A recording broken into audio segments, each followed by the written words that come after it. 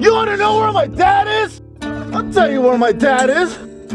My dad, he left me and my mom, man, when I was five. Well, I used to have a son too. But he passed away. I don't know, Boyd. You scare me. You really scare me.